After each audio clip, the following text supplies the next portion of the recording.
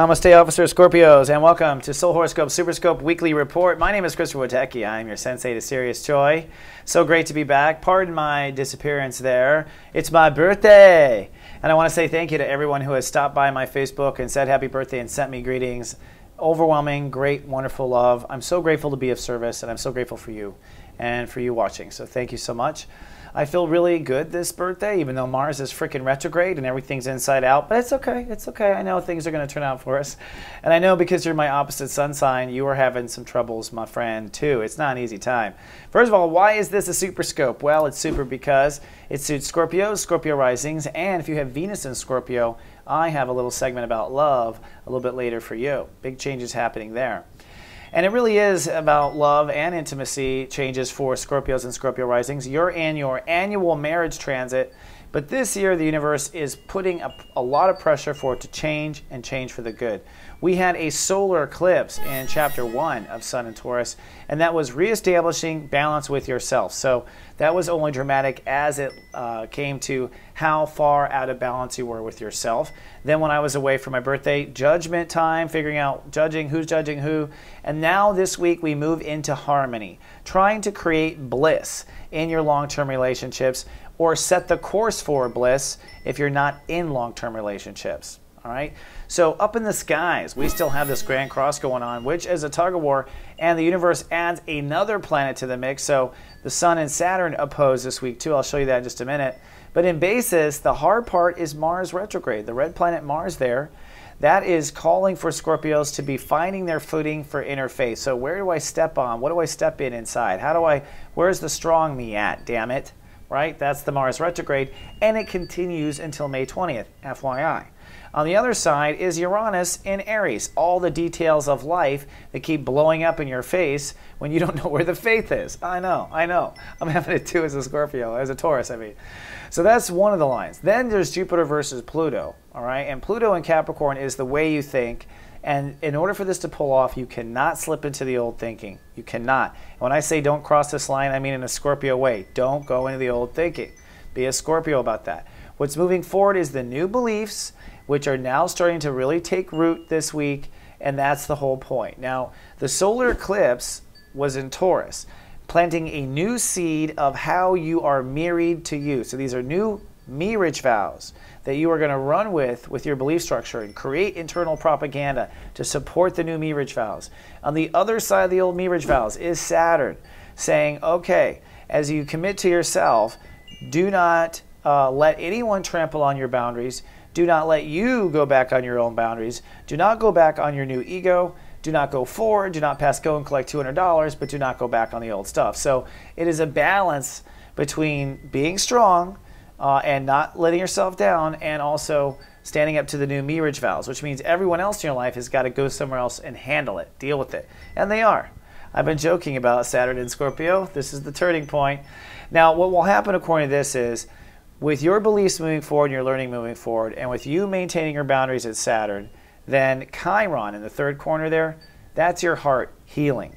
So your heart heals when you move forward with learning and maintain what you do know. Your heart heals automatically. So you don't have to work at it, it will happen.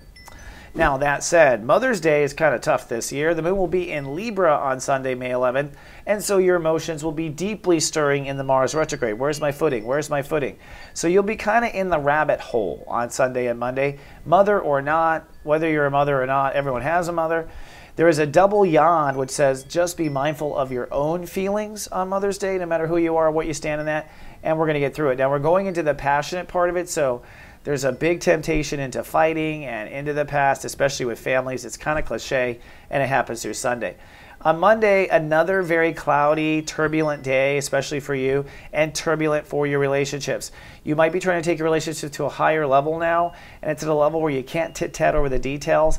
You got to surrender to whether it feels right or doesn't feel right and go with your feelings. And since you're clearing out old karma, whether or not it feels right is a question of truth, or karma. So, really get to the bottom of where the feelings are coming from and make sure it is not coming from you on Monday.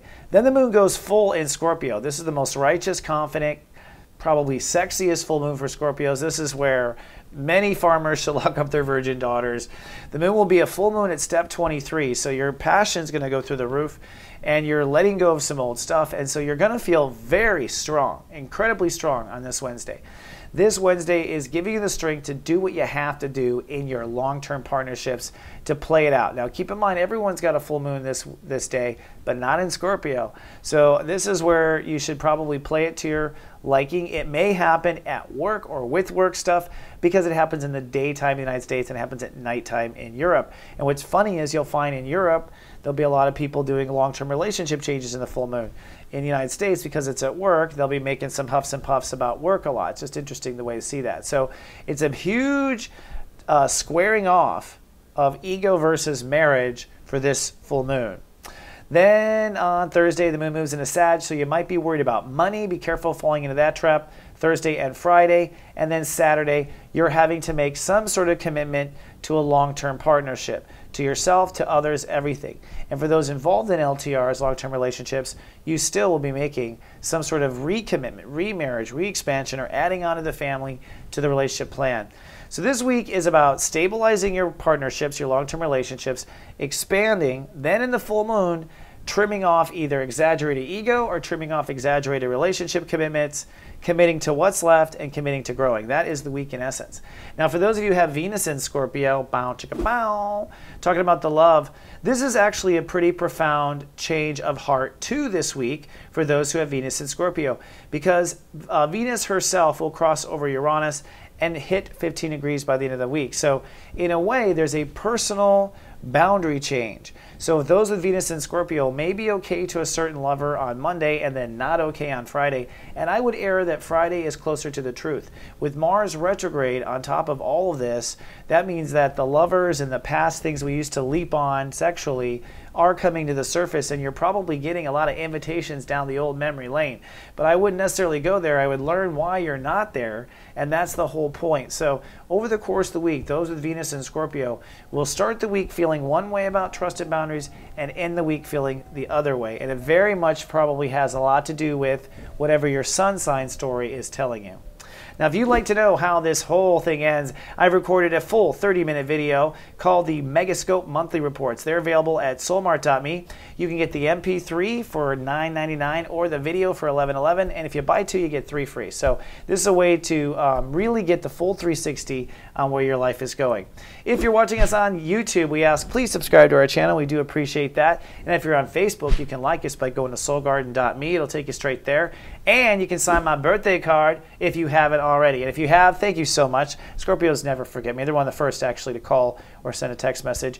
And that, I just want to say I'm grateful to all the Scorpios out there who are my friends. You've always been there for me, true and true to the end. So I'm grateful. If you're uh, wondering if anyone out there really is loyal, hey, us Tauruses, we'll be there. Maybe we're dumb as hell, but we're there, chewing our curd. So uh, thank you so much. I will see you in seven days. Until then, my friend, live, love, be.